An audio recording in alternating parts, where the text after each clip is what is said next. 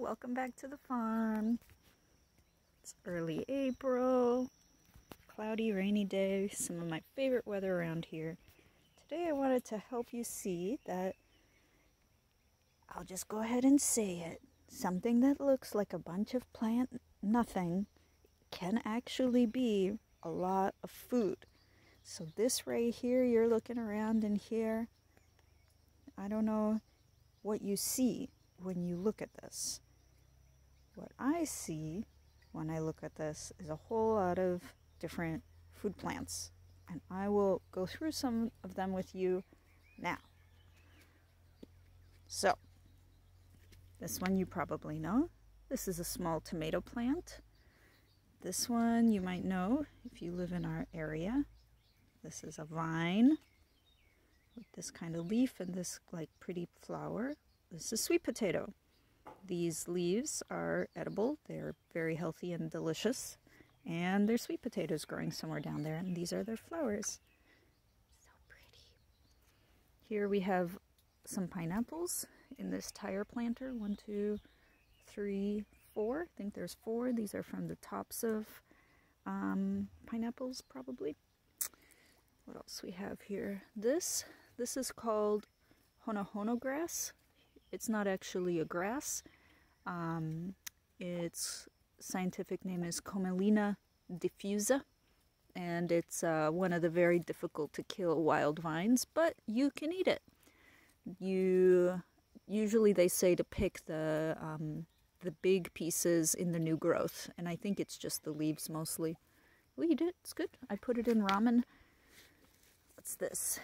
This is Malabar spinach and it grows. We also have one growing over here, and it, this one is actually climbing this thing right here. So I guess it's a climber. Um, and it's originally from India. You eat the leafy greens, you can cook them. And here you can see that it's going to make uh, berries. And these berries turn dark purple. And it, here's a little teeny flower. Is that the flower? I don't know what that is. Anyway, Malabar spinach, so it can be propagated either by splitting uh, stems and taking a cutting or through these berries. What else do we have in here? I put a bunch of different stuff in these pots. These look like maybe young peppers. This is a young avocado tree from a seed. This is maybe lychee, and there's like three of them in there. They were all growing together and I didn't want to separate them. More sweet potato. There might be a tiny papaya in here, I'm not sure. Here is more of that honohono grass. What else do we have around here? Another Malabar spinach. This right here is very important. This is the long bean. One of our favorite things to grow around here.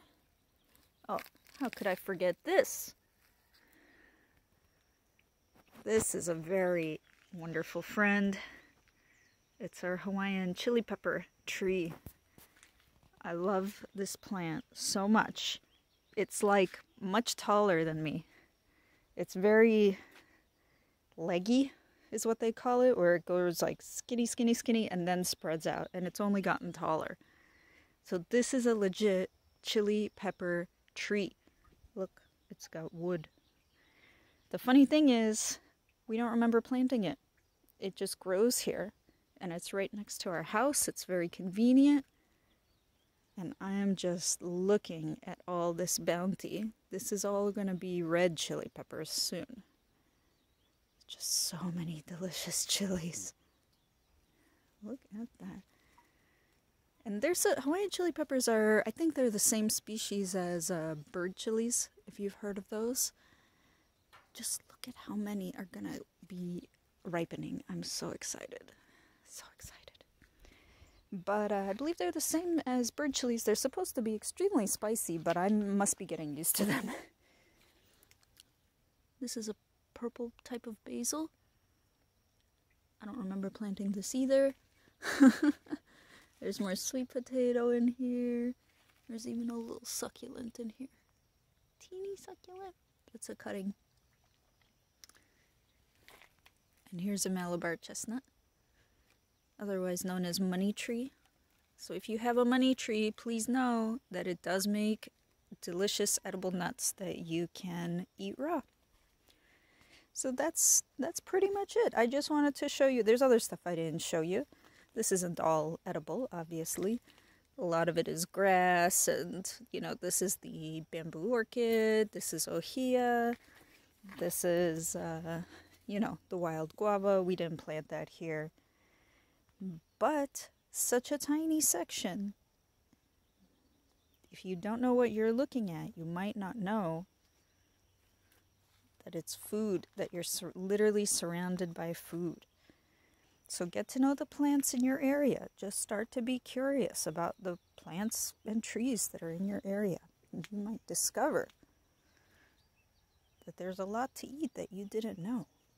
Oh, one more. Okinawa spinach, Gynura bicolor, and uh, this one is coming out from under this palette because we actually have a wall of it right here.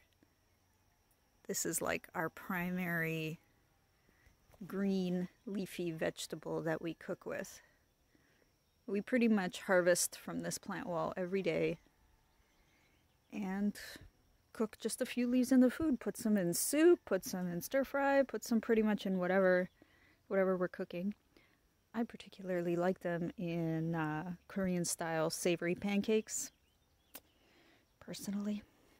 Here's giant taro. So, yeah, start to wonder about the plants in your area, and pretty soon, areas that look like nothing or like shrubs, you will see food there. All right, till next time, bye bye.